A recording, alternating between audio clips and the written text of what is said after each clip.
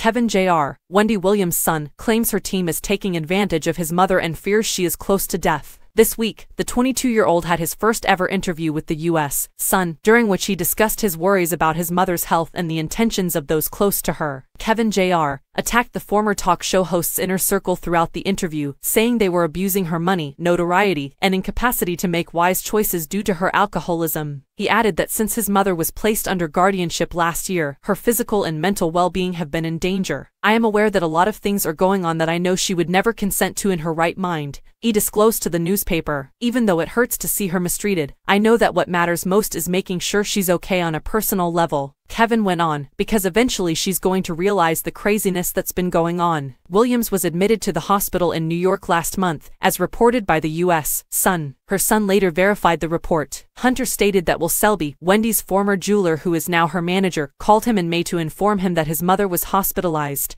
It was the first time Kevin had heard from Will in a few months, he said.